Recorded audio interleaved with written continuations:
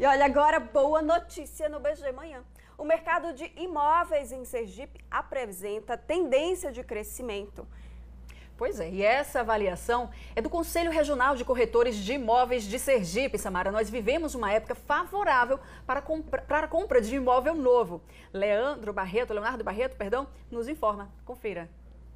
A expectativa é de crescimento no número de aluguéis e compras de imóveis para os próximos 24 meses.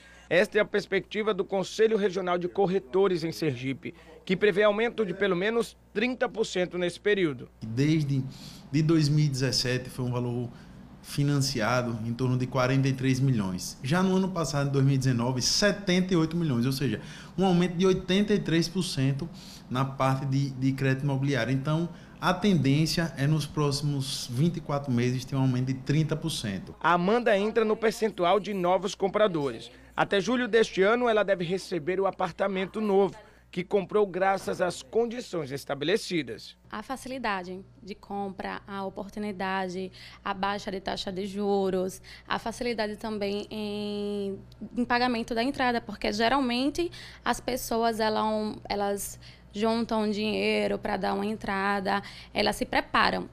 E hoje, com essa facilidade, está bem mais prático e mais simples de comprar. Para quem deseja comprar ou alugar um apartamento agora, o Eduardo aponta que este é o momento da compra. E lembra que as prestações estão muito mais acessíveis. Segundo ele, um apartamento de 400 mil reais, que a prestação inicial era de 4.800, hoje a parcela em média é de 2.800 reais. Quase 50% a menos do que o que você tinha, que o mercado praticava anteriormente. Então, é completamente favorável para a pessoa que está adquirindo, fica muito mais em conta a parcela mensal e por isso o mercado tende a crescer nesses últimos 20, nesses próximos 24 meses.